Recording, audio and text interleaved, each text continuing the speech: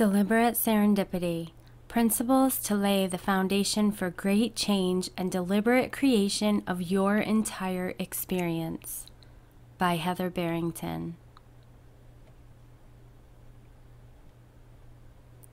Purpose Herein I have laid out principles of great change according to my own experience.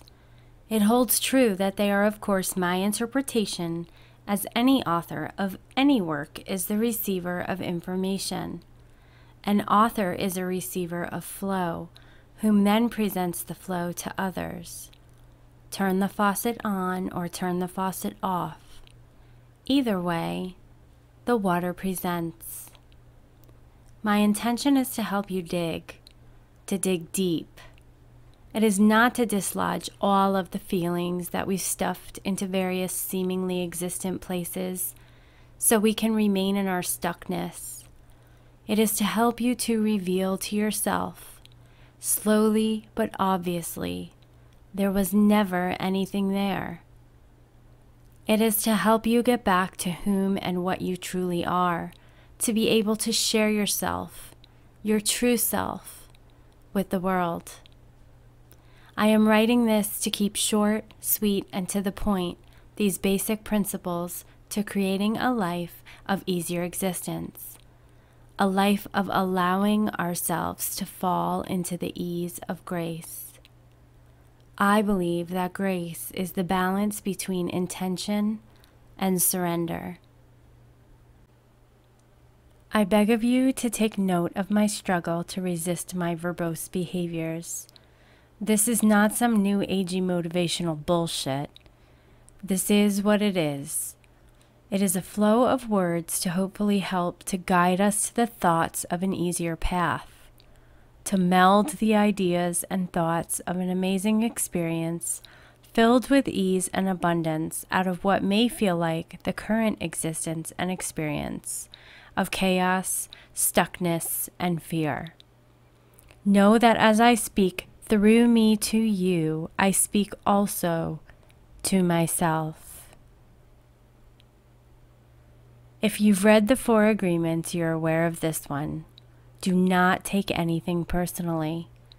I believe the only thing to be taken personally is responsibility because it is not given, it must be accepted by thyself.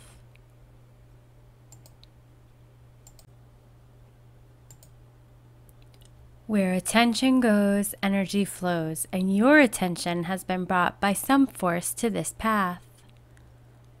Our lives were never meant to be a struggle, and just for a moment we will entertain the thought that we alone are the ones keeping the struggle alive. In my attempt to keep this in a short presentation, I also hope you keep it available to turn to over and over if you struggle with some of this after the first receiving. A human receives and interprets information from their place of perception in the now. So you may obtain more message from it later when you read the very same words. For coaching and or to have the author host a seminar or lead an event near you, please contact by visiting www.heatherbarrington.com. We are where we are. I will also mention here that I am not a religious person, so to speak. I was raised in a Roman Catholic environment. We went to church on Sundays and rarely ate meat on Fridays, even when it wasn't Lent. Religion for me was more of a shadowed discipline than a rejoiceful celebration of Source. This may be reflected in my writing, as I tend to not refer to Source energy as God. Source, referred to as any name, is still Source. Carry on with whatever name you prefer. Understand that with a wide audience, it is extremely hard to determine a basic level of understanding. I am under the impression, because of the laws of the universe, that if you are holding this information and it is being streamed to you in any way, shape, or form, you are in the place where you are ready to receive the information. It may be an overview that you need to hear again, or it may basically be an introduction. Admittedly, the points given to me to present seemed a bit jumbled to me and hard to put together. Although they may seem scattered and unsmooth in their relation, your reality is going to trigger you into deeper understanding in the future due to this wording. Whatever this is for you, let it be just that.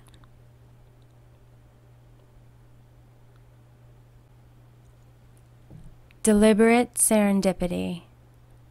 Deliberate. Adjective. Done consciously and intentionally. Serendipity. Noun. The occurrence and development of events by chance in a happy or beneficial way. Or shall we rather say, purposely preparing and patiently expecting the beautiful offerings of love in the most unexpected of places, the unfolding of a beautiful outcome through the allowance of the flow of grace. How did we get here? We were all born to this plane from the same place. Nowhere. Literally, from nowhere to now here, as I once heard Wayne Dyer speak. I love it when the universe plays little synchronistic games like this with me as it does with you. We only must be aware of them. How tragic to have come from a place of full knowing to then have that veiled, and then for many of us, religion or upbringing warped and separated us from our true selves. For many, that is the basis of current belief and also can be based on the ideas of fear, shame, ignorance, and self loathing, all that source or the universe is not. Everything is energy. Energy flows where attention goes. If you want to find the secrets of the universe, think in terms of energy, frequency, and vibration. Nikola Tesla. There are, of course, no secrets of the universe. They are all here, hidden in plain sight, hidden only from our awareness by the blinders that we have built that prohibit us to see them. It's both challenging and easy to have a discussion on energy because it's literally everything. At the basis of all that is, and even from our perception, all that is not yet, is all energy in some form of vibration, and yet it is something that is hardly ever spoken about in our daily lives until we begin to harness our intuition and guidance systems. Whether the topic is healing, finances, mood, manifestation, dead or alive, it doesn't matter.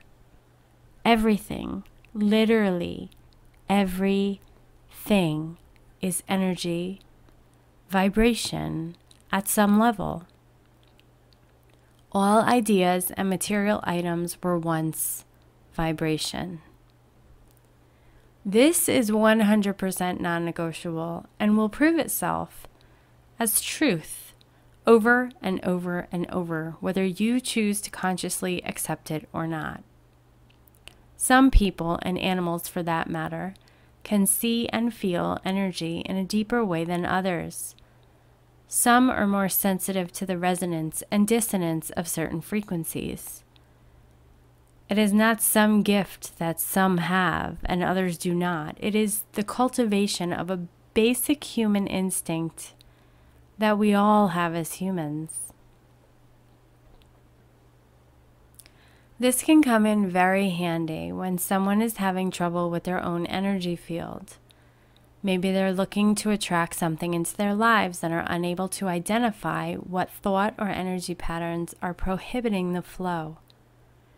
Maybe they're suffering from the manifestation of some illness or dis-ease and have forgotten the vibration of that well being and are looking to feel it again. Every interaction, as well, in exchange or offering of energy in one way or another. I've been able to see certain frequencies of energies since I was a child that apparently are not seen by some other people. The best way I've ever explained what I see and feel on a generalized level is by having someone hold their gaze to the skyline where the trees meet the sky on a nice day. If one is not used to the discerning of energy, a more overcast day would not be good conditions for this. However, we hold our gaze just above the tree line, the vision will take a small shift and suddenly the energy will come into view. Noticeably, first, the energy of the trees will show, and it will basically appear to be a light coming from the trees, outlining them in a different hue than that of the actual sky. Then, if you slowly move the gaze to the earth and other objects, the energy of those objects will also come into view. Why would any of that matter? Because when you shift your perception from the chaos of asleepness to observation and awareness, you begin to experience more of these heightened energetic states where what you begin to see will change, meaning you will see things in their possibility and potential without even having to think about it. Contemplate that for a moment. What have we failed to see that is in existence and waiting for us because of our thoughts have been in a different place or time? The human body has an energy field, or let me restate that into the human energy field manifests the body. It is the blueprint. Therefore, the body and the mind take feelings of healing from modalities such as energy work, massage, sound therapy, vibration healing, etc. These are all forms of energy work. At some level, under this concept, everything is energy work even conversation. It even feels a sort of dissonance inside of me when I hear things like Reiki healing or vibrational healing or people who offer healings. Although I do agree that these modalities are extremely healing to the vibration and can be, the resonance of energy in any modality and any treatment is an offering of intention. It is up to the individual that is experiencing that field and the field itself to determine if it will accept the resonance and transform. There was a story that was relayed by scientist Bruce Lipton. He studies epigenetics and the biology of cells. I would suggest you find him on YouTube. He tells the story of a young girl whom receives an organ transplant from another child. Once the child had the new organ, she began having nightmares every night.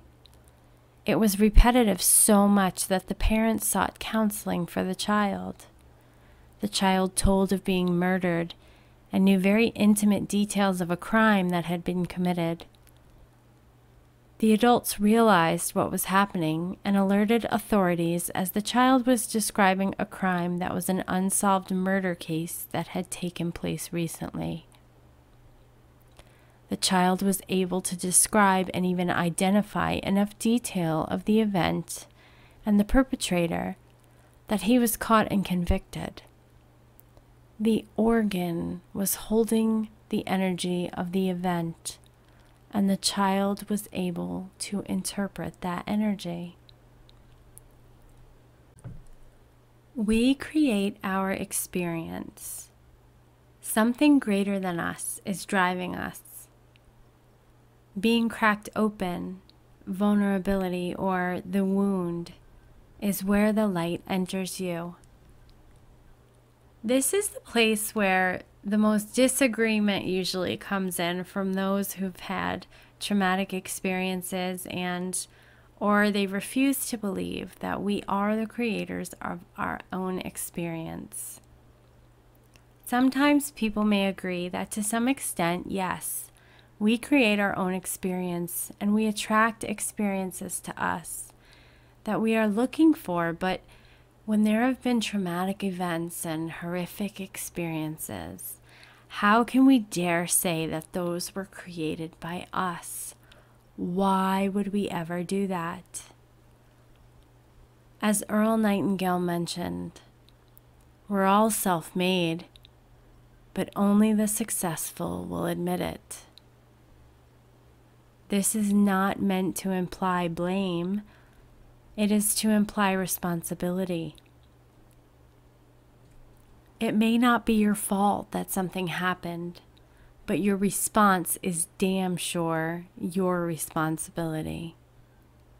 Well, I do personally believe that every single manifestation of energy is created in this experience by us, by our inner being. I 100% fully believe that there is something greater than us, that is us that is driving us. I like to call it source, sometimes just the universe. As Shakespeare mentioned, a rose by any other name would smell as sweet. There is a process to creation, the becoming of what is from the energy of what is not yet. Yes, it can be taught, but I believe this is one of the hardest lessons for us because we must become what we desire. There is a part of us that is greater than us that begins immediately, intentionally, diligently to collaborate and coordinate energy to meet us where we are in our vibration. What the hell does that mean?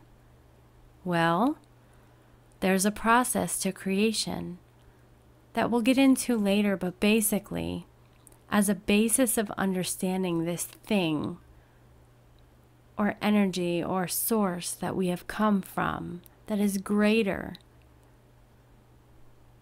than our we is always inspiring us, simultaneously responding to us. Sometimes we are brutally cracked open, so to speak, and we refuse to believe that this would be something that we would dare do to ourselves. But then we see in the aftermath that the experience had created a wound that left a space for the dissonance, that in fact became the crack of least resistance for the light to enter. Even upon reading that back to myself, I suddenly found myself feeling like I was in a cloud of misunderstanding. To put that simply, we get ourselves in a funky vibration.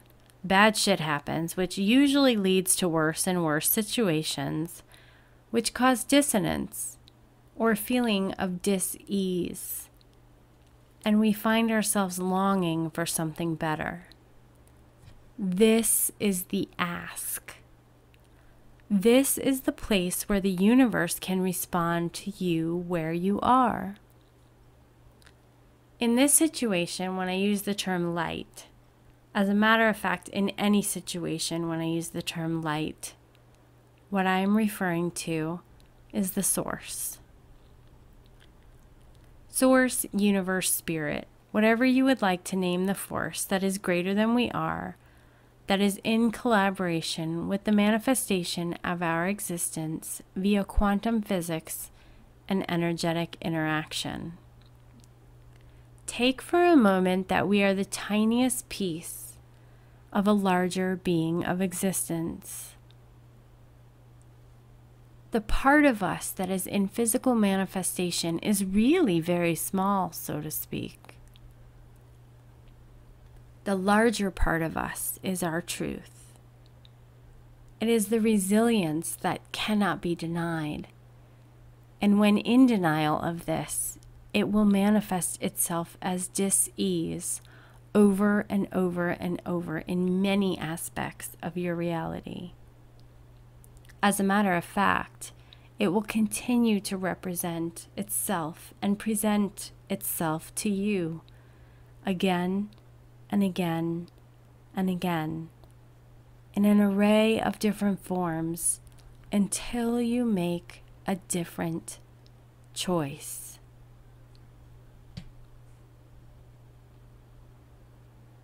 we can step away from our conditioning, our awareness versus our mind. I briefly mentioned earlier that when we come into this world, we are brought through a veil. This veil hides our truth from us. This was part of the agreement. We knew when we came here that this would happen to us, and all cognition and remembrance of anything prior to our existence in this time space reality is consciously forgotten. But it doesn't have to be. When remembered, these laws and truth bring forth a new power for us to utilize in our process of creation. When remembered, they assist us in our purposeful and deliberate experience. We come here as sweet little tiny innocent naked beings in our utmost vulnerability. We are unable to even care for ourselves. We must learn everything that is considered voluntary to life, such as routines, habits, reactions, beliefs, interaction, understanding, reflection, and everything else that does not happen inside of our bodies beyond our control. We even learn certain behaviors such as fear or love. We learn how to use those emotions from those around us because we come through not knowing any better and are shown the way by those around us even if it is not a way that is beneficial to our being. But the most important thing that we fail to remember in this lifetime is that our existence is not fully of this experience. It is not fully this body and these senses and these feelings. We are something else, and we are systematically conditioned to forget that and to be disempowered by the lack of understanding that we must go inward to affect anything that is outside of us. Being of this time and space, we are privy to so many comforts and conveniences that so many of our ancestors did not have access to. Does that make our lives better? This is often something I ponder. With so many outward distractions, it can be so much harder to go inward.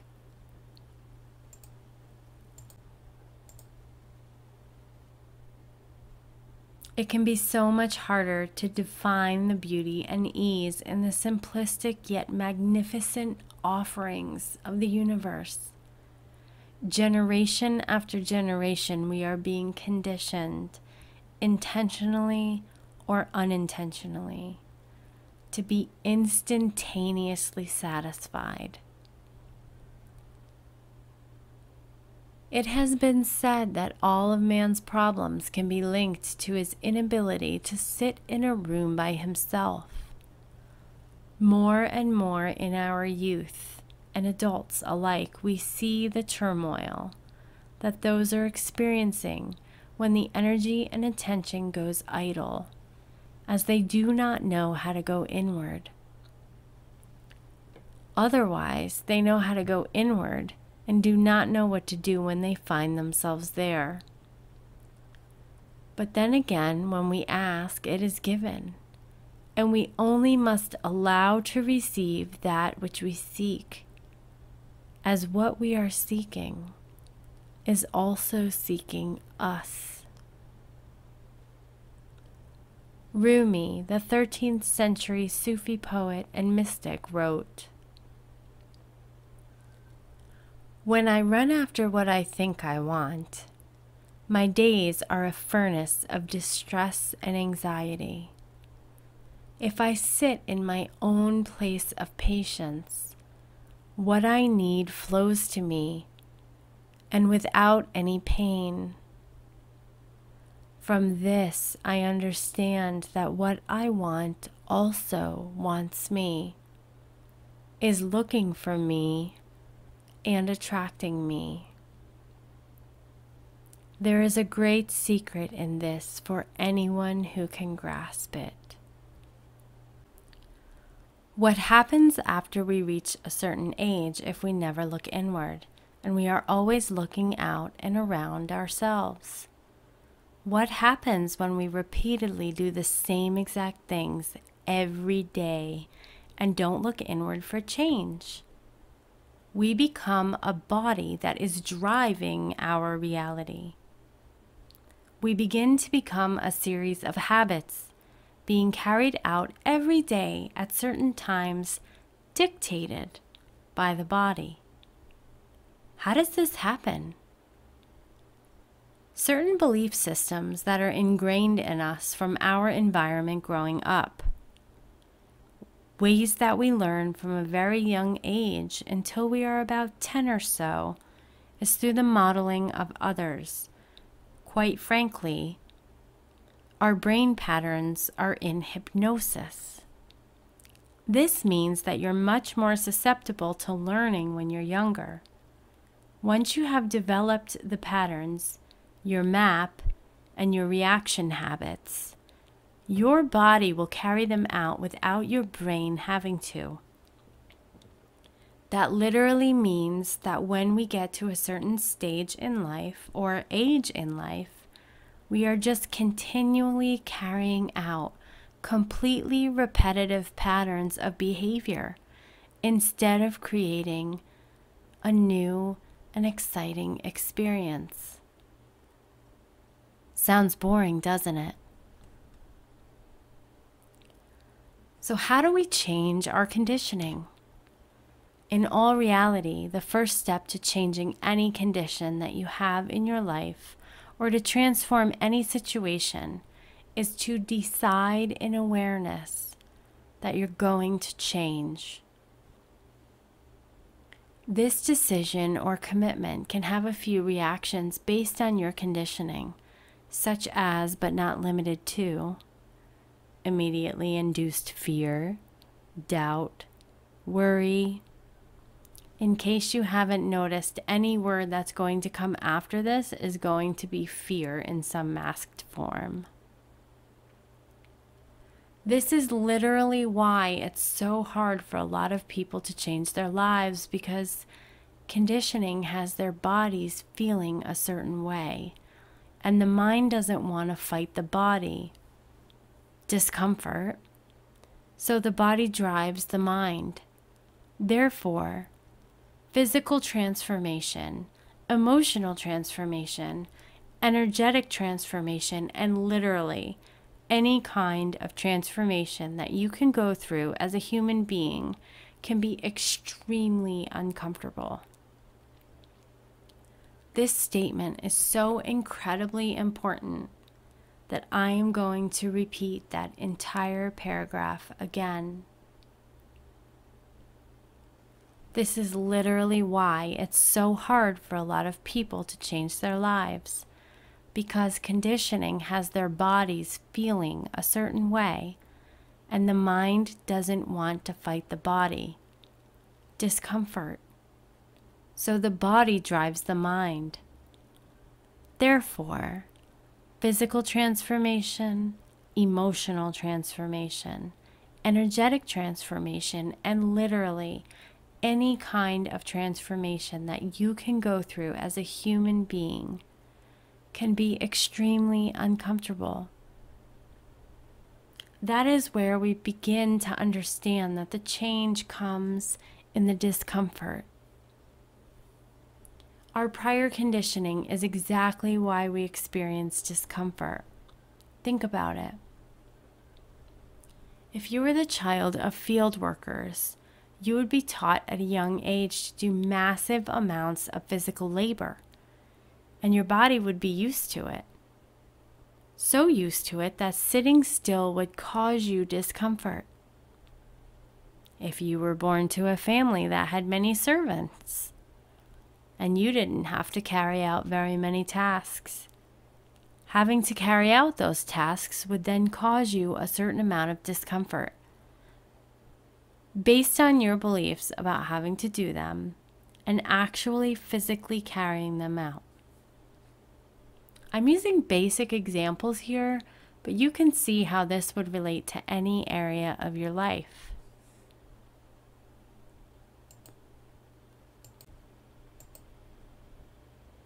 This means that literally everything that we experience is happening within us. It is being interpreted by us from our perception and our current place of being. How does this matter? Because, as Wayne Dyer specified, when you change the way you look at things, the things that you look at change.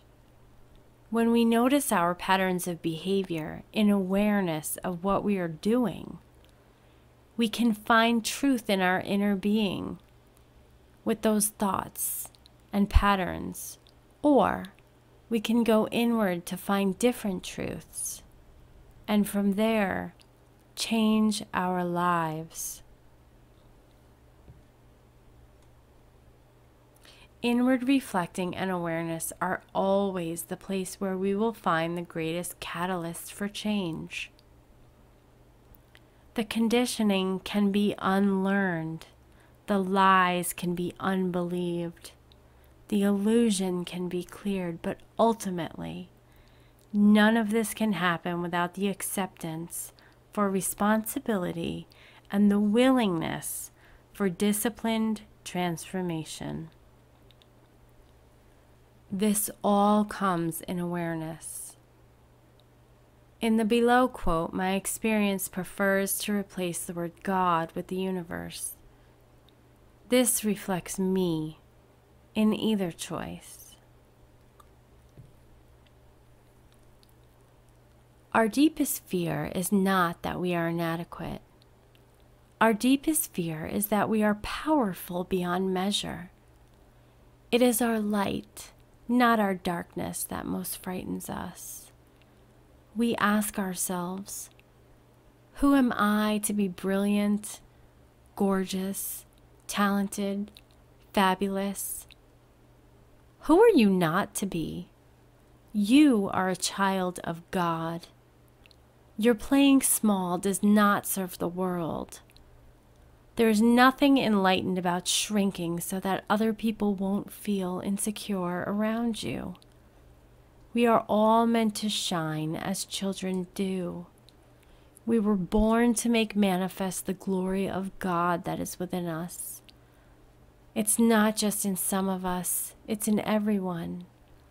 And as we let our own light shine, we unconsciously give other people permission to do the same.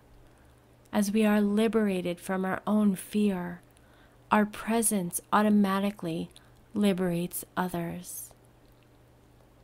Marianne Williamson, A Return to Love, Reflections on the Principles of A Course in Miracles.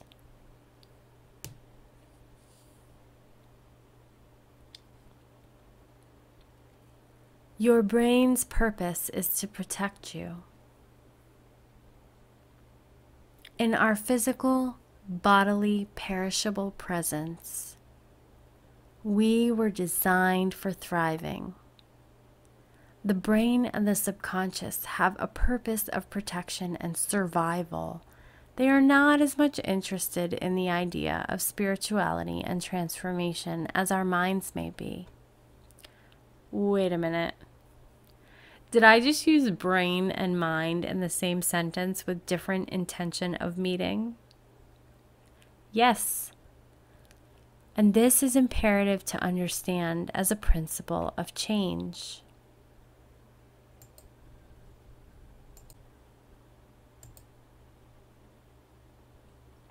The brain will do what it is comfortable with doing. It is connected to the functions and message of the physical body, and it has no desire to put us in a fearful or uncomfortable position. The mind, however, is connected to the energetic body, the growth center of the inner being.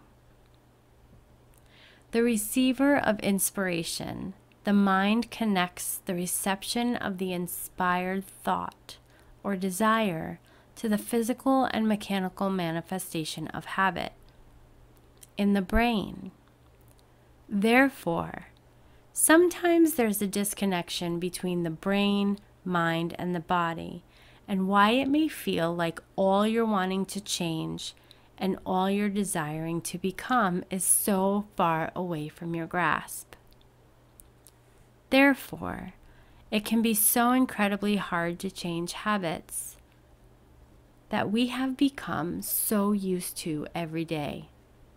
As a matter of fact, if you read the words and studies of Dr. Joe Dispenza, a speaker on quantum physics and the relation of energy and transformation, you will learn that when we reach the age of 35, our body is now carrying out the habits of the brain 95% of the time.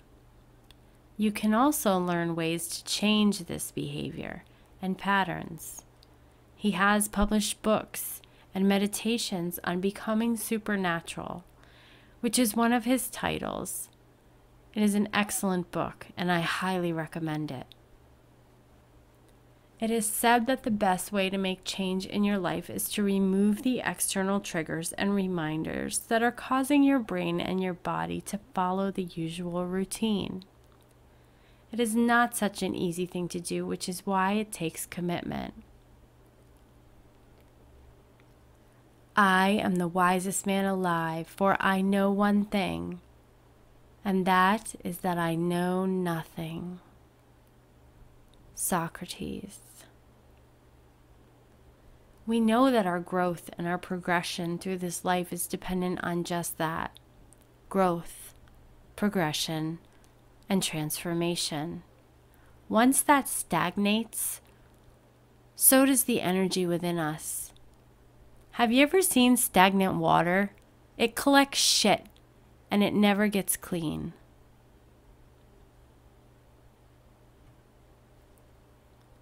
We make decisions from where we are.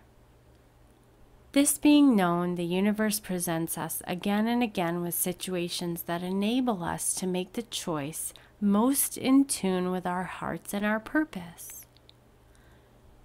When we fail to do so, we are again presented. Read that again. If we make choices based on our conditioning, and that condition is not in tune with our inner being, our inner being will continue to ask for the scenarios of the kind to present themselves over and over and over to be able to match up in conscious awareness and experience with the inner being's desire and place of vibration. There are two places from which we can make decisions truth and conditioning in awareness or an automatic response. The key is to recondition ourselves so that when we are in fact responding in awareness, and it is from a place of conditioning, meaning we have reconditioned ourselves so that our automatic response has become awareness. Some of the practices that can lead us into this behavior are meditation, mindfulness practice, yoga, and energetic practices, affirmations, and hypnosis. The very nature of these is to draw the attention inward and to the self.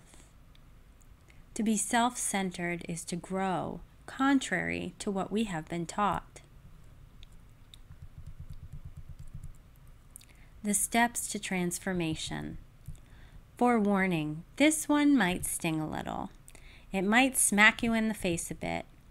I'm not putting these words to paper as a this is the way to do it, this is what you have to do to make a change, and listen to me. I know the way, I know the secret, I know the truth. I'm not trying to be the one that tells you what to do. This is more of a I know the failure. I know the mess. I know the fear, the angst, the worry, the confusion, and the grief of not knowing what the hell to do to get out of the place that you've put yourself in. There's the sting. Put myself in? I don't think so, you might say. I'm not sure what you've gone through, and I'm not even sure what you're still going through, but what I do know is how it works.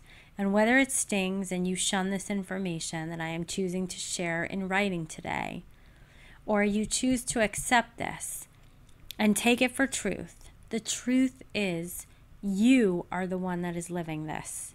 In this experience, and the truth and acceptance and choice are always yours. Whether you're making this choice right here and now on this level, or whether you made a choice on another level and you are now consciously living with that choice. Here you will find love, empathy, encouraging words of strength, and further choices of ease, but you will never find the validation to stay in the excuses and arguing for your limitations the reasons, valid or invalid, for holding yourself in the shitty feelings, habits, and situations that you're holding yourself to. Notice the theme? There are three steps in any transformation, be it physical, mental, emotional, spiritual, or financial. Any transformation. Decide. I know, it sounds completely stupid decide. But it's true. There's a difference between commitment and dabbling. Dabblers try, they fiddle, they wobble, and then they give up. When you decide, there is nothing that's going to get in the way of what you want to do. When you decide, you can change your plan 20,000 times if you must. But no matter what happens, you are moving forward. You are past the point of return, and you are never going back. There is one direction and one direction only, and that is towards the goal. You might not yet know the way, and that is what the next step is for. That is why the path is never a straight line. And it will not be an easy one, and you might have failures. You may feel defeated, but failure is only an indication that you are taking the wrong route. And just like GPS, all you have to do is put in your destination and your current location, and you will be led via the fastest route possible to the place you desire to be. Plan. Failure to plan is a plan for failure. As mentioned earlier, failure is a redirection, so why would you not set up a plan for yourself to move forward before a redirection? Think about this just a moment. You have decided to commit to transformation and change because something in your life has put you in a shitty place or feeling. There is a major dis ease in your current situation, and you have decided to make change, to be the deliberate cause and choice of change. Why would you not set up a plan for yourself to carry out for the third and final step of the transformation? I like to set my goals and then plan weekly for them. This changes often after a few weeks of execution, And this plan should include the small steps necessary to the execution of all of your goals, the ones that are of the utmost importance to you, of course. You might not know all the steps, and you might not yet, from your place of being, know the way. In this situation, all you must do is to make the plan for the beginning. And with the commitment, the dedication, and the consistency, the rest of the steps to the desired outcome will begin to diligently unfold before you. Although you do not want to overwhelm yourself, if you have small steps to accomplish daily, weekly, and monthly, you go about your days embodying the energy and the actions of the person that you are aspiring to become.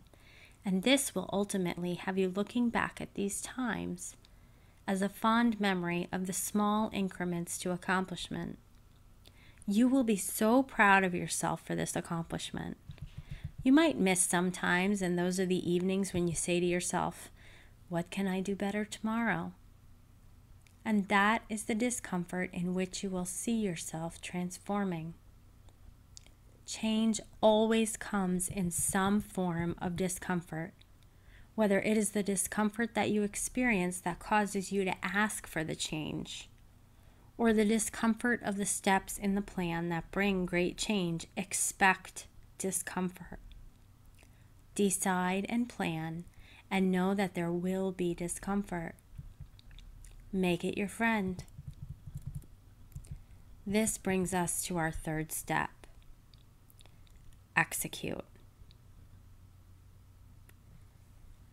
The other two steps are usually the ones that are completed half assed, and then when people whom don't succeed get to this step, they quit or give up. Why? Because shit is hard. It's uncomfortable. Why? Because by the time we reach a certain age, our body and psyche, brain, emotions, and habits, they are all intertwined into a pattern that they are carrying out 95% of the time. So, as we mentioned earlier, 95% of the time you are in a subconscious state of carrying out patterns that are ingrained in your habitual mind and life. If you look at the finite time we have remaining on this lifetime, I mean, really, do you really have any idea how much time you have? None of us do. I'm sitting here writing this to you, and I have no idea if I will transition, die, in a car accident on the way to the place that I plan to go later today, or on the way home, or just keel over from some unforeseen health issue no one ever knew I had. That's not said to instill any kind of fear, it's said to instill urgency of understanding, of consideration of the fragile sensitivity of time. And with that being said, the goals of the weekend to include, because life happens and I had to shift some execution around. Do you know what I did right before I began this portion? I jumped up to accommodate my four year old, which led me to getting him dressed. Then into the bedroom I went, and before I knew it, a cup of coffee later, I was in front of my bathroom mirror, putting my makeup on and I realized I hadn't even finished the post. Is that procrastination of some sort? Maybe. But it's definitely a manifestation of the fact that I am not holding myself in the present moment. I am not bringing my full awareness to the task at hand. This is the key to execution to be able to look at the shittiness of what you may have to deal with, or feel, or think, while you are completing or executing every step of the plan or even the deviated plan. Whether it be the fear of it, the hatred of the steps, because they feel uncomfortable. It's an execution. You're executing, my friend. You're killing it dead. May it be a morbid way to look at it, you can choose to be offended, or you can choose to let that thought transform you into a warrior this is what you do. You choose that you will take the pain, the emotion, the tears, whatever may come in that time of execution, and you will transform that energy into energy that you will use to accomplish what you need to accomplish. You will thank the universe for the pain because it will transform you. You will notice your anger and let it burn as it is fuel and energy to be transformed. You will thank the jerk that had nasty things to say to you because you forgave them and transformed the mediocre energy they threw at you into excellence. You will. You just must decide. Dr. Joe Dispenza is a faculty member at Quantum University in Honolulu, Hawaii, the Omega Institute for Holistic Studies in Rhinebeck, New York, and Kripalu Center for Yoga and Health in Stockbridge, Massachusetts. He is also an invited chair of research committee at Life University in Atlanta, Georgia. Every progression forward begins in awareness. Kensho and Satori. As mentioned before by Dr. Michael Beckwith, there are two ways that we learn and progress in this lifetime. Even if we are making the choice on another level, we are making the choice to fall into the grace of either of these teachers, realizing that both are full of grace. To me, the definition of grace cannot be put into words without diminishing its profound power. I have found Adyashanti to be an excellent teacher for me on grace. Kensho is growing by pain. Some sort of pain comes into our experience to encourage a shift. You might find yourself with dis-ease, and that can be painful and then you decide to take better awareness to your health and well being. You might decide to take on a business endeavor that ultimately leaves you with less money, less time, and feeling less accomplished. This might make you aware of all of the mistakes that you made along the way so you can begin again and not make them this time. Or it may make you aware that the path you were on was not what you were desiring. Satori is growing by those little moments of insight. It feels that these moments may come to us less often, and they often lead to much more exponential growth. These moments are pleasurable. They make us feel like we're having aha moments. We do have those moments, and even then, after, we must consciously choose to adopt the insight and use it to progress. Either way we choose to grow, we must first realize that we are responsible for taking the steps to our growth in this experience. Also, at this point, I would find it important to also point out that judgment is not necessary in any situation, especially that of a healing space. Noticing grace and the ability to choose it as so is enough to integrate experience into our field. One might argue for the concept of unwanted negativity into our fields and experiences, but truth be told, although we can transform the energy that we hold from our experiences, we cannot just erase our memories. It has been said that life is like photography, we must develop from the negatives. Most negatives considered, we arise a better person from having experienced them. Or to even remove all judgment, we could say we come out a changed person from having experienced them. We could experience either one of these graces and then just turn around and proclaim ourselves to be the victim and argue for our limitations, or we could allow them to assist us in growth. The growth of our compassion, what does compassion have to do with our growth, I ask? Compassion is not sympathy.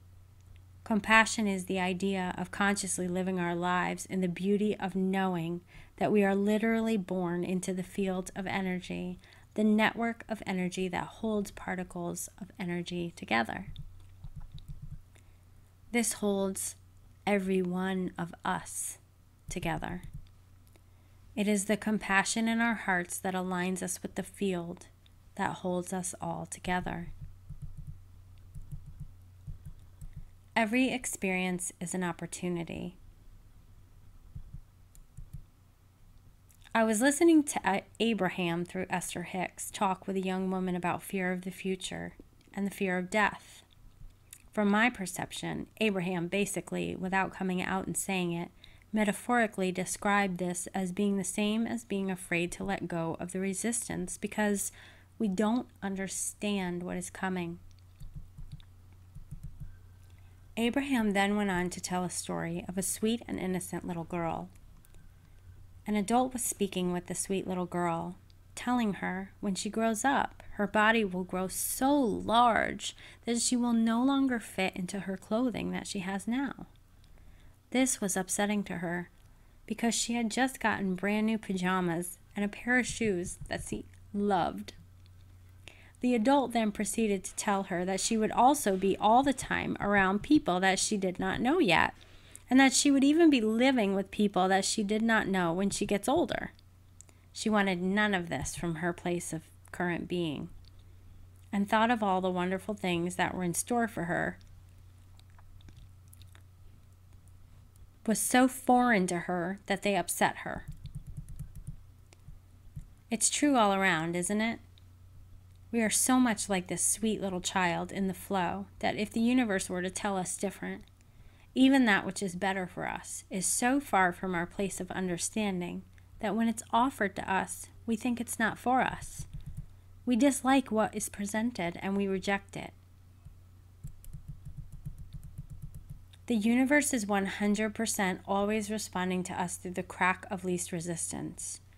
Even when we're presented with things that are contrary to what we believe should be happening, it is happening because it is the energetic vibrational match to a vibration we presented in the past. So, all you must do is to bring that feeling of coherence and higher vibration to every situation you can and try to find the best feeling you can. And this will help to alleviate the dissonance of the moment.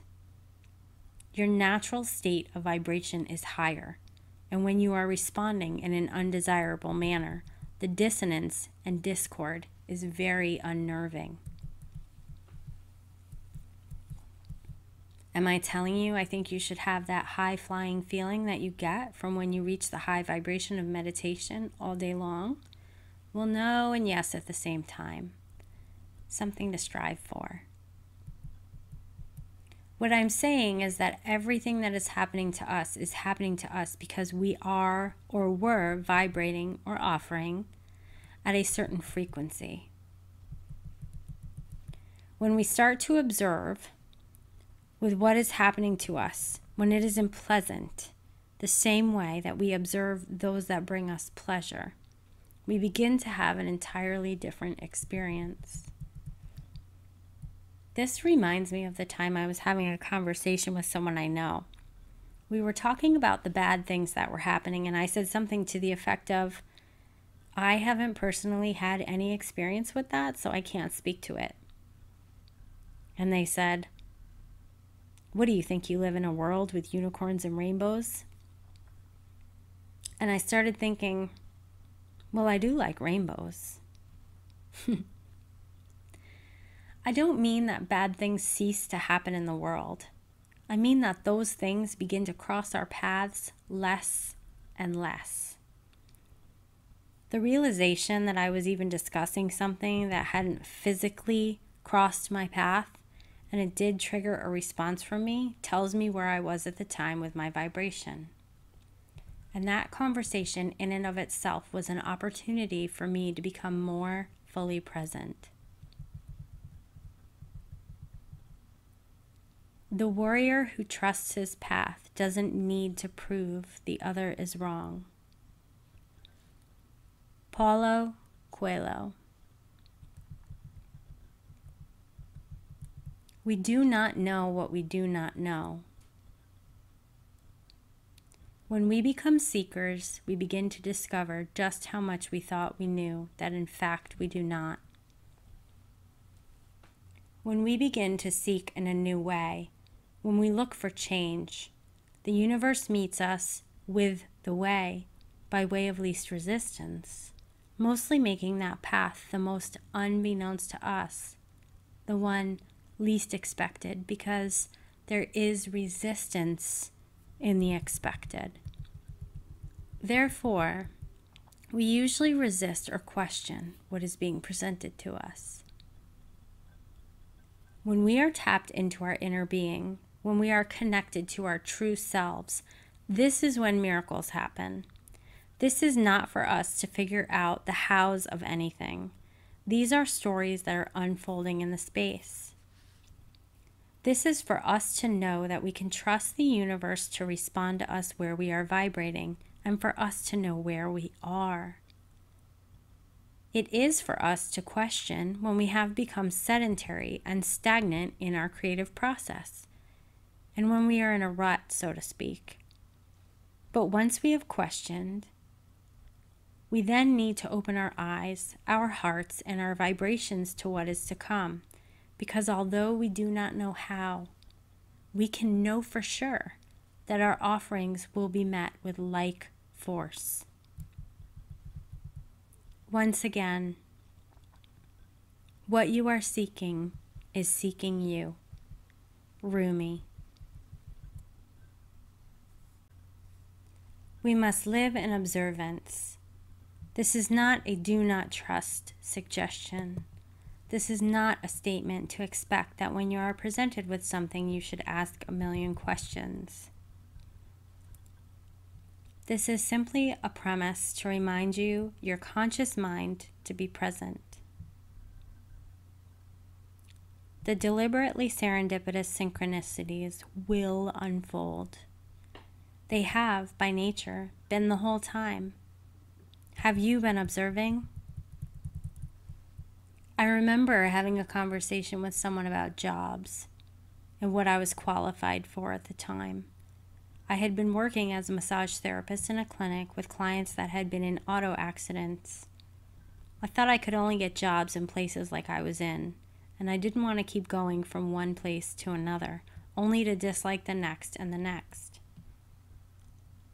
What I didn't know was that I was completely qualified for other kinds of jobs, and I just didn't even know they existed. We are trained in, in the public school system to think that we are to choose one vocation and dedicate ourselves to that. Oh, how awakening when, it, when we realize otherwise, and disheartening maybe, to see that so much of our lives we spent in darkness to that light. This woman came in twice a week for treatment. She would ask me all kinds of questions about her injury and how to make herself feel better, and I would teach her about it. One day she saw me organizing the office because I had noticed a detail that was out of compliance. And she asked me why we still had paper charts. Beats me, I told her.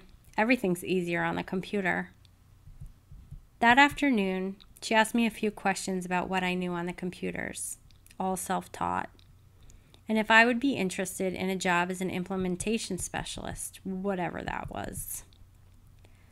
My response was that I wasn't interested in a desk job, and she just sort of giggled. I went on an interview, and after accepting the position, I doubled my salary and ended up in one of the most favorite positions in a company that I had known in my life to that date. Even years later, that position taught me so much about self cultivation and shutting up when I should be listening that we don't know what we don't know. And sometimes that can be the very best thing for us. The world of quantum physics. So many people are led to return to themselves. They are presented with so many lures to bring them back to themselves. They are gently presented with synchronicities some noticed in awareness, some so obvious but the mind oblivious. When you need to have proof, when you need the explanation, there's quantum mechanics. It is in the study of matter and energy, and it's smallest measurable form, we can tell that everything is energy, that everything is vibrating. Quantum theory explains that these manifestations of matter are non local. It is not something that we have room to explore here, but should you choose to seek further explanation of the energetic phenomenon and self healing of manifestation and mind connection, you will find that quantum physics will give you an amazing revelation. Dr. Joe Dispenza does extensive work and workshops where he incorporates quantum theory into his teachings to help to give scientific explanation to the process by which changing the mental, emotional, and brainwave state can cause physical and situational change in people's lives by way of meditation and visualization. Through his workshops, and there are many others providing proof, Dr. Dispenza tells of people that have healed themselves of physical ailments they have had for many years he also has proven changes in actual brainwave states and coherence via scientific study at his intensive workshops. The book that he published, Becoming Supernatural, is a beautiful explanation and experience. Science is beginning to reflect what our ancestors have always known. Keep in mind that energy work, or any vibration, and any sort all by de- default has one intention.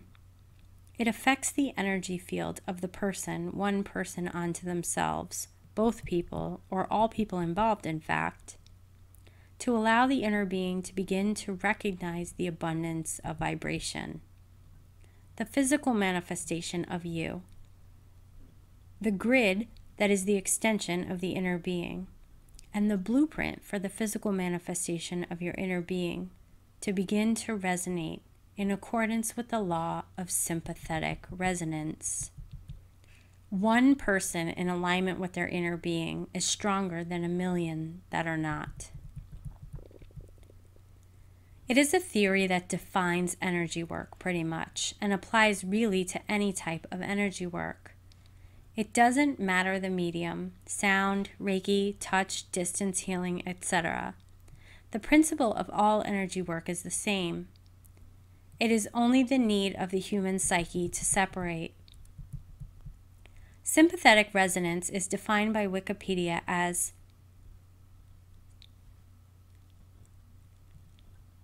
Sympathetic vibration is a harmonic phenomenon wherein a formerly passive string or vibratory body responds to external vibrations to which it has a harmonic likeness. The classic example is demonstrated with two similar tuning forks, of which one is mounted to a wooden box. If the other one is struck and then placed on the box, then muted, the unstruck mounted fork will be heard. In similar fashion, strings will respond to the external vibrations of a tuning fork. When sufficient harmonic relations exist between the respective vibratory modes, a unison or octave will provoke the largest response, as there is maximum likeness in vibratory motion. Other links through shared resonances occurred at the fifth, and though with much less effect, at the major third. What this means is if you have two strings or objects of matter or unseeable energy, and they are vibrating at different frequencies, they may begin to vibrate more in frequency with each other when presented. There's also a theory called quantum entanglement. It's a physical phenomenon that occurs when pairs or groups of particles are generated intact or share spatial proximity in ways that the quantum state of each particle cannot be described independently of the state of the others, even when the particles are separated by large distance. This helps us to define distance healing or distance energy work, where particles of matter and energy cannot be altered from their resonance with each other, as their connectedness in resonance may distinguish them from other particles, but they will hold distinction to each other in their resonance, and how ultimately the universe is able to match us with that which we long to experience. The vibration which we broadcast in our moments of dissonance as a contrasting moment of clarity of desire attract that which is of the same, no matter the time or distance. So we experience what we don't want, we realize and ask for what we would prefer, and the universe matches that vibration. Habit versus intention. Starting to feel like you may have heard some of this before? Good. Bear with me. Habit comes from what we are conditioned to, while inner being drives most new intention when we are quiet enough to listen. If our habits are not in line with our intention, we begin to feel a dissonance. Things start to feel like they just aren't right, like they just don't fit the things that we do feel pointless. And we may feel like what we are longing for is more, but we can't quite pinpoint what that more is. Furthermore, the more we ignore it, the more it calls to us. Our habits are the conditioned responses we tend to practice. As mentioned previously, we go about our lives most of the time in subconscious conditioned ways habit can be a very dangerous thing because it can lead to self loathing. When we feel this dissonance come, it is the indication that we are not paying attention to what our inner being is wanting for us. It can be when we are thinking a thought or a feeling, an emotion that is not in alignment with our inner being how can we change that so our habit is to listen to what the inner being wants for us? Listen. No, not listen. I'm going to tell you how. I mean, listen. Earlier, I mentioned that in order to transform something in your life, you must decide. You must decide that you're going to make the change, and you must know what that change will be. But if you aren't listening to what is going on inside of you, to what you want and what you need. You're just moving about making random decisions that never ultimately lead to any satisfaction because you must cultivate the habits pertaining to the intentions that are true to your being. The ego will always try to run the show. After much internal anguish, which is always optional and never a requirement, I have come to the personal conclusion that the only way opposite the ego is to always look inward to the connection to the inner being, the oneness and the nothingness simultaneously, and allow that observation to then reflect outward.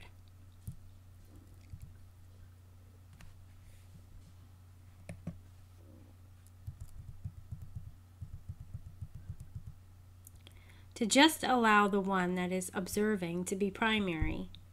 Then and only then can you die while you're alive. I've had so many internal meanings to that statement. I had first heard that theory through a Wayne Dyer teaching when he was speaking at an event and began to tell the story of a traveler who went from India to Africa to acquire products and animals. He had come across so many beautifully colored parrots he captured one of them and decided to keep it for his own. He treated the parrot very well in his cage and fed him delicious treats and sweet things, and often played music for the parrot. When the traveler was to return to Africa, he asked the parrot if there was any message that he would like him to convey to his friends in the forest. The parrot replied, if you would tell them I'm enjoying every day and I'm happy in my cage and that I send my love. Back in Africa, the traveler went to the jungle and delivered the message per his pet's request. Just as he did, the eyes of one of the other parrots welled up with tears and he fell over dying. The traveler assumed that this was because the parrot in the jungle was so close with the caged parrot that he died from the despair of missing the parrot in the cage. When the traveler returned to India, he was speaking with his pet in the cage and told him the story of the dying of the parrot in the jungles of Africa. As soon as he heard the story, the parrot's eyes welled up with tears and the bird fell over dead. The man was shocked and figured this happened because his pet was in despair over the death of his friend in the jungle. The man took the bird's body and tossed it out of the window to the trash. The parrot jumped up alive. The traveler proclaimed, You tricked me. Why did you do that? The bird replied, That was a message to me from my friend that if I want to escape the cage, I must die while I am alive. Some would see the cage as a representation of the body, as I have heard it referred to in the story. I personally see the cage as the actual act of suffering.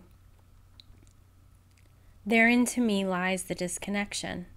Such terrible sorrow that could lead one to the desire for escape, not realizing, for whatever reason, feeling so real that one can die while they're alive to escape the suffering.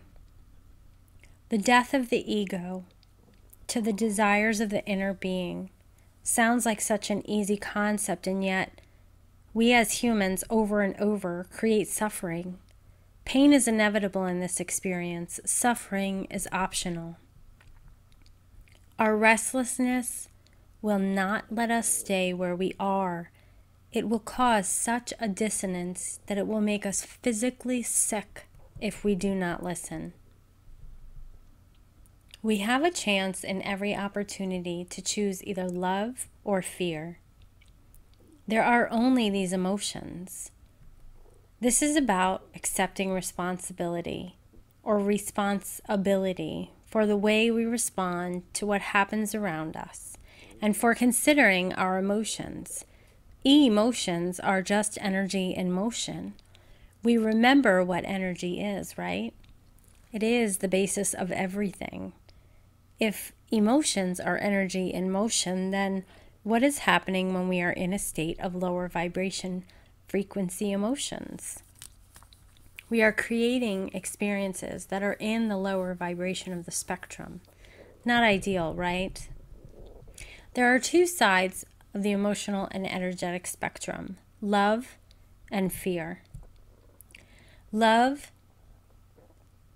joy, passion, positivity, optimism, hopefulness, contentment, boredom, pessimism, frustration, overwhelm, disappointment, doubt, worry, blame, discouragement anger, hate, jealousy, insecurity, grief, and fear.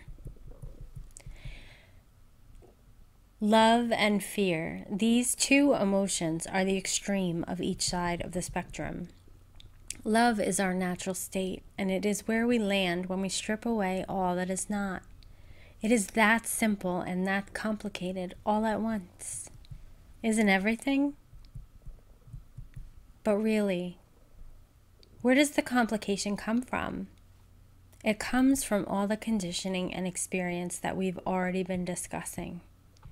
Instead of the overwhelming feeling of the need to learn so many things in order to overcome fear and the negative feelings, we now know that we can choose to pivot to the next best feeling. We can grasp within our reach. We can move up the spectrum even if it isn't very far. One gets us to the next and to the next until we ultimately feel better. That is the purpose. Abraham and many others have provided us with many tools that can be used to navigate the emotional spectrum to assist us in getting in line with our vortex and experiencing an all around better feeling life. We came to be creators. We came to be for me, not to me. And ultimately, we discover through me, and we are all me. Sometimes We need many reminders to bring us back to the fact that the universe is happening by us, not to us. The number one step in the journey is to awaken to the signs presented to us by the universe. Those signs must always, at first and continually, are feelings that come from within. When we can give our attention to the feelings that are emanating from within us, we can choose a higher vibrational feeling from where we are. If we are in fear, we can look at our fear and choose better. If we are in love, we can look at our love with appreciation and then have more of it. The emotional scale can also be found on my website at www.heatherbarrington.com. Abraham is source channeled through Esther Hicks. Telling a new story can literally change everything. It is how it works. Just as there are two sides of the emotional spectrum, the basis of the creational spectrum also has two correlating feelings victim and empowerment.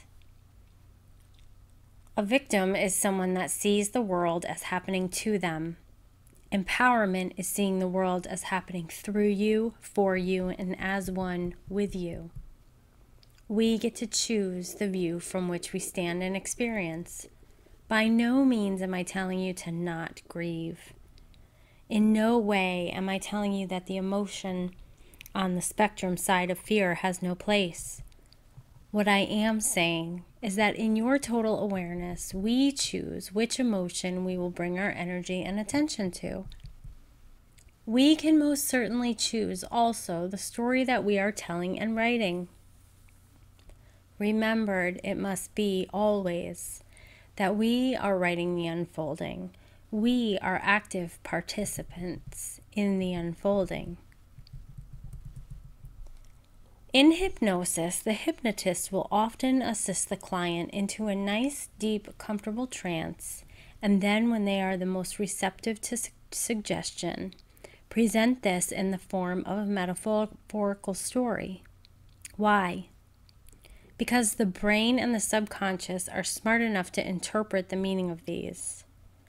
This is being done to us over and over, actually, throughout every day, and most of the time we are not even conscious of it.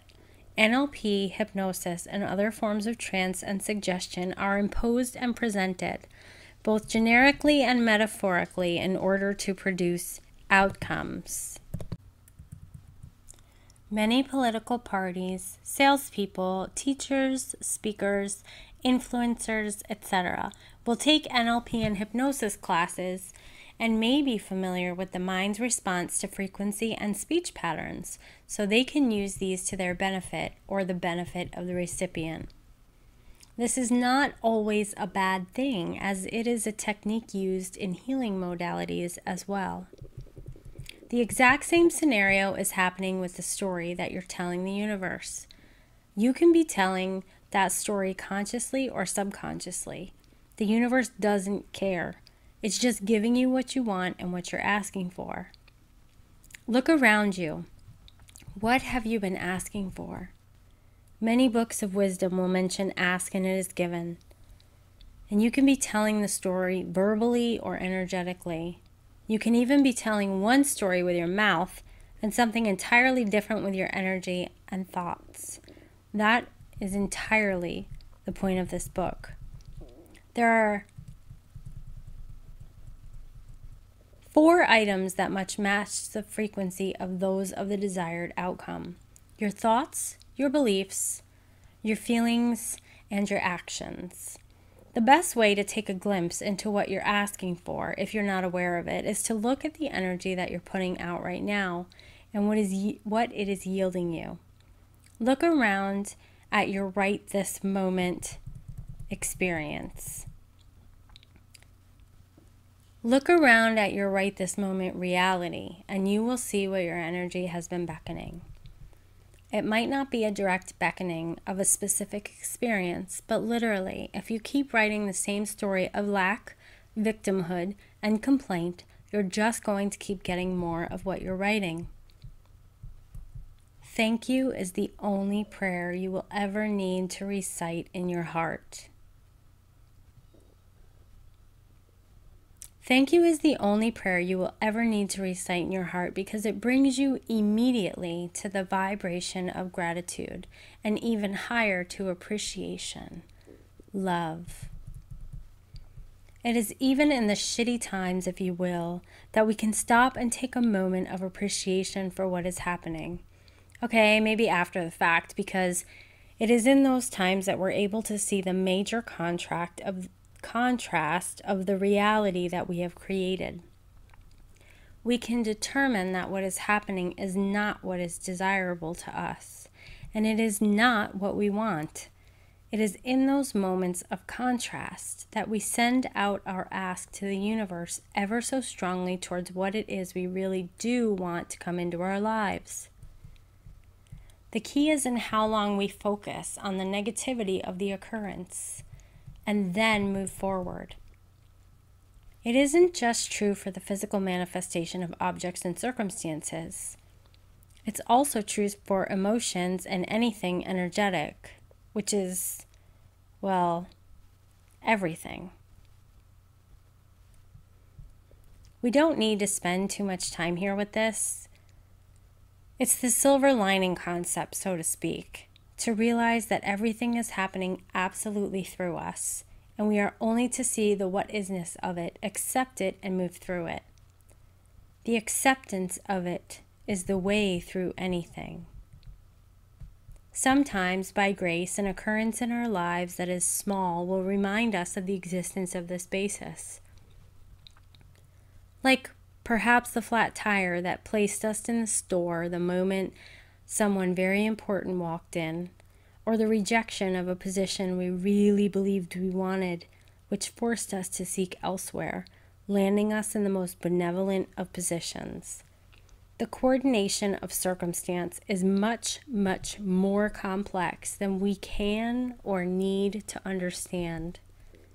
We need not try. What if equals fear.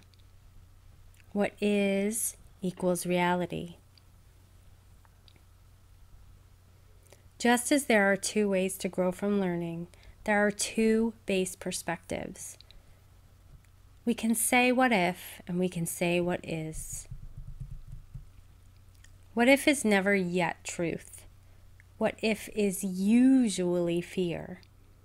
I like to play a little game with myself called the what if game, where I'm in a sticky situation and my mind starts to do the what if thing. I usually know that I'm there because it feels yucky. Like when you're about to put your unaccompanied minor on a plane and you start to imagine all the things that can go wrong in that situation, which we need not get into, trust me. My mind over the years has probably been creative enough to figure them all out. Either way, this year, as I was putting him on the plane to fly halfway across the country, I chose to focus on all the ways that he's protected. Truly safe. On how the airport, they favor and dote specifically on the unaccompanied minors, how they give them preferential treatment, and they make sure that they're comfortable and secure. It felt much better. And that's what we are always reaching for to feel better.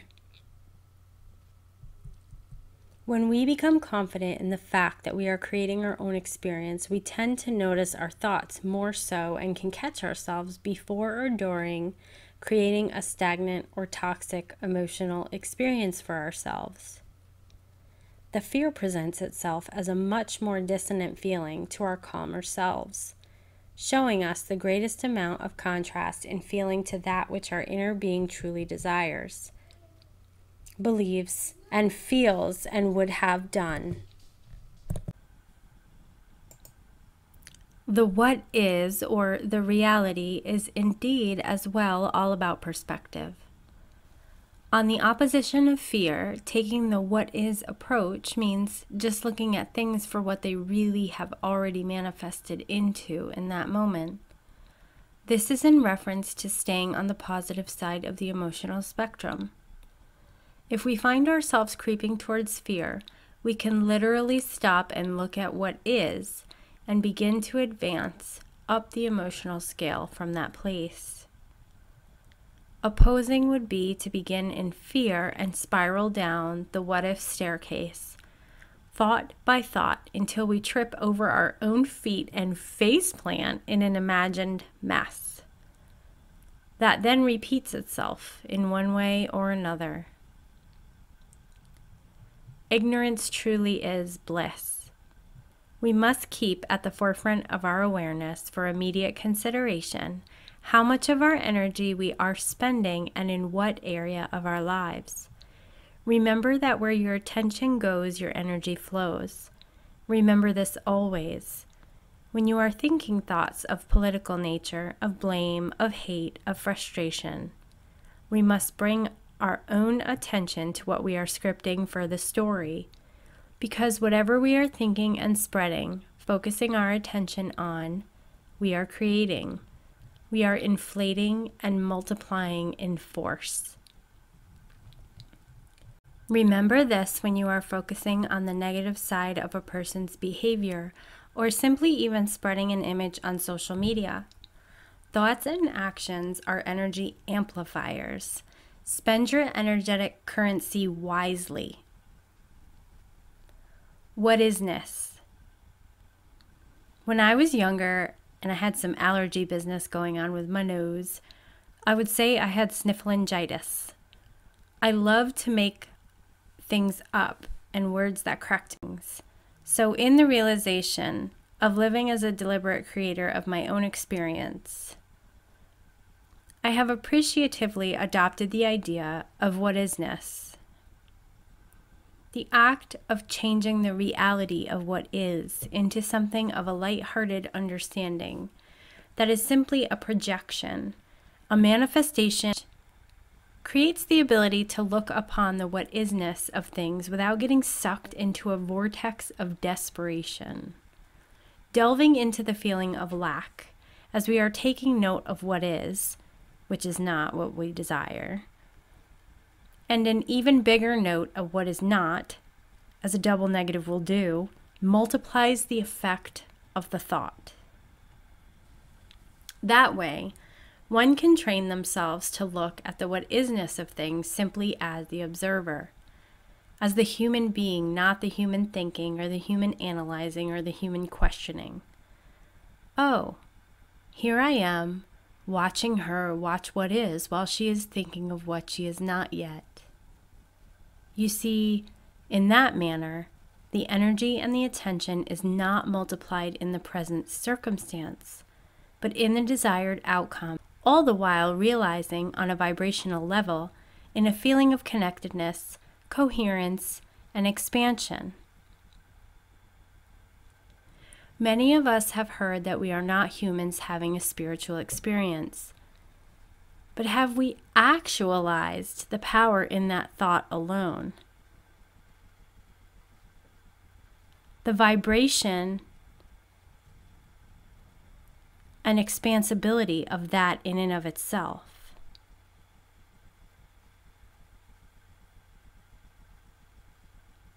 We are not humans that are wandering around like lost puppies trying to find our way.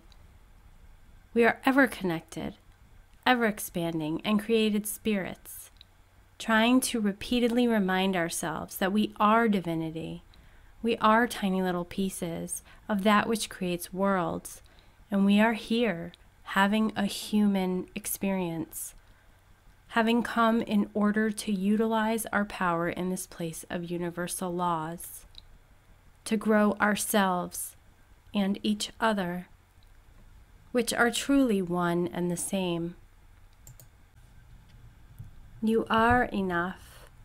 You deserve everything you want, and you are easy to connect with.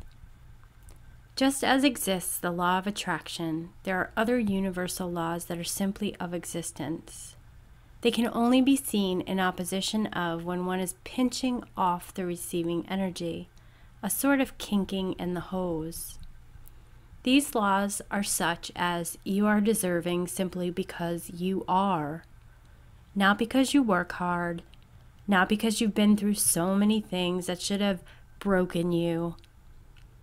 I see so many of these posts on social media that refer to the illusion that I've been through so much of said struggle that I'm now ready to see the other side, or I've hurt so much, don't I deserve yada yada yada. You see, you don't have to struggle for that. You never had to sit in the energy of what you had experienced, or to tell the story over and over and over, or to explain your traumas as the explanation as to why you went through the trauma but the situation may have helped you to focus yourself more. The contrast allowed you to be more deliberate in your asking. This is not a competition of whom can do more or feel worse, and then that deserves them the golden ticket. You see, it works the opposite. Those that feel bad and dwell and retell the stories of heartache, struggle, and lack are telling story, stories of heartache, trouble, and lack, no matter what context. They are attracting more of the same. You may argue for your limitations at this point all you'd like, but you're telling that story. It's your choice. Whatever story works for you. Innate connection. Whenever we feel bad, it is because what our spirit or our inner being believes about a situation is different than what we are allowing ourselves to feel at that moment. If you haven't already noticed, you may begin to feel the dissonance or the unnerving mismatch, so to speak. I like to pin it as a cognitive dissonance, noticing and awareness turning inward and pay attention. Your energy flows where your attention goes. Satisfaction is the amount of your inner being that you are allowing to flow right now. I hear the voice wherever I go. No matter the situation, your gut, your emotions, and your thoughts act as your physical compass to your inner being. Listen, keep happening over and over. Your evolution is in your own hands. If you strive, you can evolve whichever way you want. You just must realize what it is you are really asking for. Remember, as we mentioned in the beginning, and as Earl Nightingale mentioned, we are all self made, but only the successful will admit it. You alone are the captain of your ship. You can sail through smooth and rough waters, or you can choose to focus on all the storms and eventually sink that puppy. Your thoughts will literally begin to shape your biology. They are powerful enough to change your DNA. This is you taking responsibility for shaping your life. How to apply these basic principles as a basis of understanding to create change in your life. Noticing and awareness. Turning inward to check on your thoughts, feelings, and emotions. Do this often. Remember that. I hear the voice wherever I go. These are the exact same concepts. Take notice to the signs and the synchronicity that are cluing you into the fact that you are on the right path, that your inner being is calling you to come this way. That is the way that is leaking to you through the path of least resistance. The universe gives you everything you're seeking through the crack of least resistance. Repetition. Repetition is comforting to the mind. Notice your habits and begin to practice a meditation daily. Begin to replace habits that are not serving you with those that foster your inner being. Meditation is a time of connection and coherence. It is when the brain enters a specific wave state and you become a higher vibration. This is the state in which you are closer to the vibration of your inner being, to the oneness, and you are able to receive, even in downloadable fashion the place where your thoughts are presented to you. You don't even think them. You can find specific guided meditations on YouTube, which are easier for beginners to practice as they occupy the conscious mind so the subconscious can relax and not consistently wondering, Am I doing this right? or Nothing's happening, the truth with meditation really comes with consistent practice. Some may have radical experiences the first time, and it may take others as a much longer time of consistent practice to begin to let go of the here and now, the connection to the body and the physicality of this realm, and to connect to the space that is consistent of the nothingness from which we came, and of which we will eventually return. That space creates worlds. The source that we have access to at any given moment in time. The more you practice and give attention to the power, the source, and to your inner being, an emotional guidance system, the more you will see the unfolding and begin to feel like the unfolding is becoming more magical and less mundane. The universe has got your back. Put your attention there and you will see. The true way is to always and in all ways choose to feel better in the moment. For coaching and or to have the author host a seminar or lead an event near you, please contact by visiting www.heatherbarrington.com. We are